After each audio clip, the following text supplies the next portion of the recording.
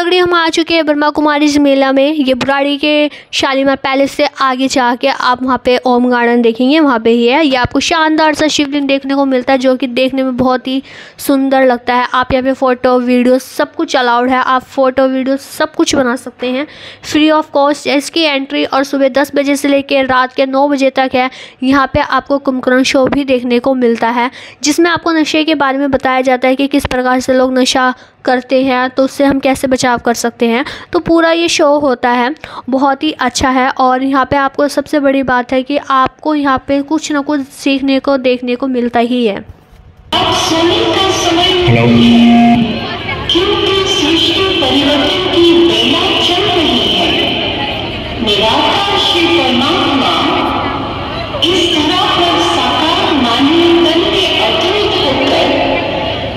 अब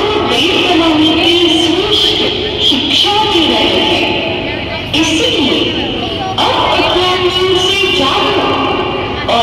और आपको यहाँ पर बारह ज्योतिर्लिंग के दृश्य करने को मिलेंगे, वो भी एक ही जगह। मैंने सुना था कि दिल्ली के गौरी शंकर मंदिर में बारह ज्योतिर्लिंग है, वहाँ पे हम दर्शन कर सकते हैं। पर अभी आप बुराड़ी में भी कर सकते हैं। ये जो है सिर्फ़ 9 अक्टूबर तक है।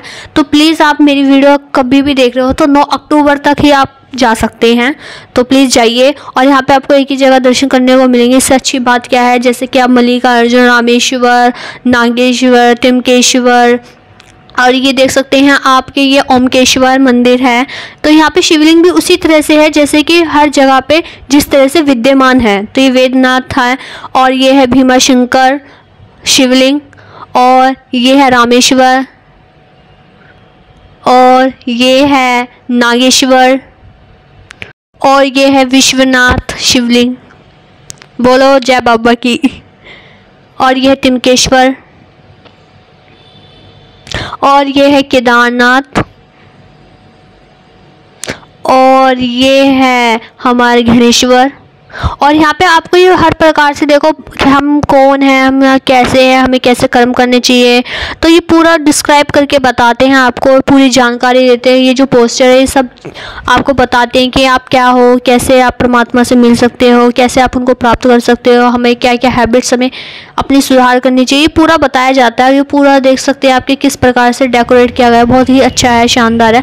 तो मैं तो लेट गई थी, नौ बजे तक होता है शो तो ये आप देख सकते हैं, सब कुछ ऑफ़ हो चुका है ये शो भी ऑफ़ हो चुका है। तो आप प्लीज़ दस बजे से सुबह के दस बजे से और रात के नौ बजे तक है तो आप ज़रूर जाइए और आपको मेरे को लगता है जाना भी चाहिए अच्छा है।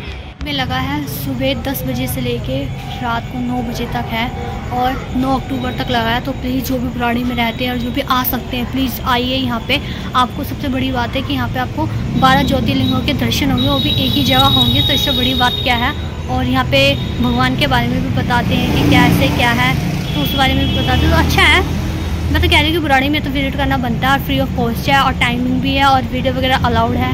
फ़ोटो वगैरह आप खींच सकते हैं। मैं तो नौ बजे लेट आई हूँ तो मैं तो लेट ही आई हूँ। तो आप आ सकते हैं और इन्जॉय कर सकते हैं। और यहाँ पे बहुत सारे भगवान जी हैं तो उनके दर्शन कीजिए और शिव जी जी के दर्शन आपको होंगे हर प्रकार से, क्योंकि बारह ज्योतिर्लिंग है, वो भी एक ही जगह पर मिल रहे हैं तो और क्या बड़ी बात है ना?